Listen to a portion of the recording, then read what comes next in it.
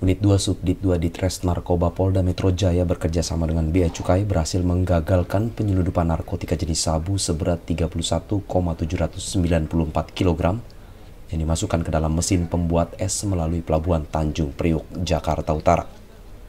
Tiga orang pengedar yang merupakan dua orang warga negara Malaysia tersebut berinisial MJ alias Gordon dan AT alias Jack.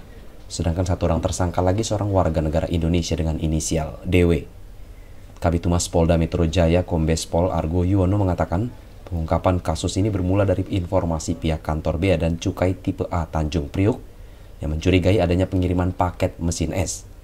Selanjutnya di Tres Narkoba Polda Metro Jaya kemudian berkoordinasi dengan pihak Bea dan Cukai untuk melakukan pemeriksaan menggunakan mesin X-ray. Argo juga mengatakan penyidik kemudian melakukan kontrol delivery dengan membiarkan paket tersebut terkirim ke alamat yang dituju, yaitu sebuah ruko di Jalan Halim Perdana Kusuma, Jurumudi Baru, Benda, Kota Tangerang.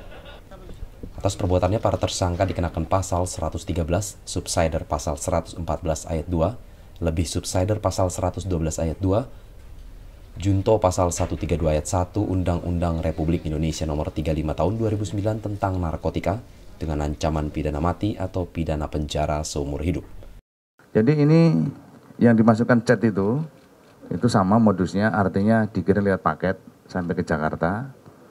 Kemudian teman-teman di Bea Cukai itu mengidentifikasi bahwa ada barang yang e, dicurigai, ya, barang narkotika. Akhirnya komunikasi dengan e, narkotika Polda Metro, ya. Kita lakukan penyelidikan dan akhirnya bahwa ternyata barang ini mau dikirim ke Pamekasan Madura, nah, di Madura. Tim akhirnya e, lari ke Madura, ya, dan mendapatkan tersangka ini. S ini ya. Tersangka S sudah kita dapatkan ya. Sama ya. Modusnya yang untuk S mau, di, mau diedarkan daerah Madura ya. Yang ini di Jakarta dan sekitarnya di situ peredarannya itu. Kemudian untuk tersangka ini kita kenakan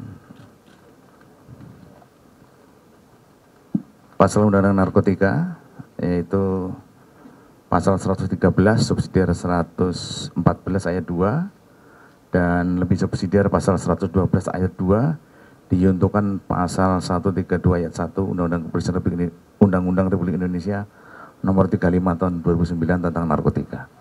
Ancamannya seumur hidup maksimal ya, maksimal seumur hidup.